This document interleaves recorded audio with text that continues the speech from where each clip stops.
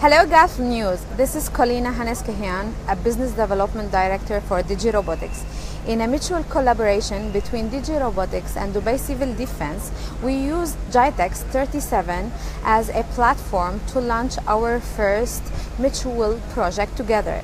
The first autonomous firefighter drone could be a first responder for any fire source could be happen in any high-rise building or tower or any two cars accident.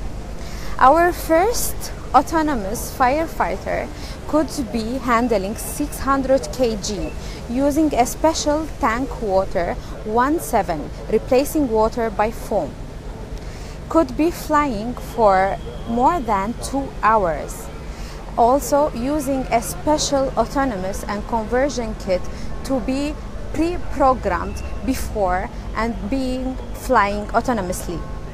In a collaboration with Dubai Civil Defense, also we launched the first mobile platform, also a robotic system, going autonomously inside buildings to fight any fire could be happening inside the controlled areas.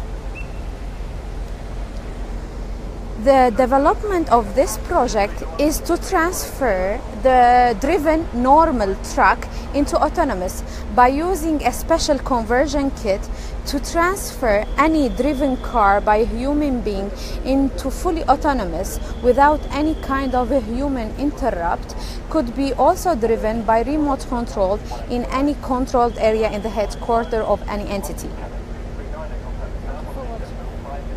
Thank you for watching. Appreciate it. Bye.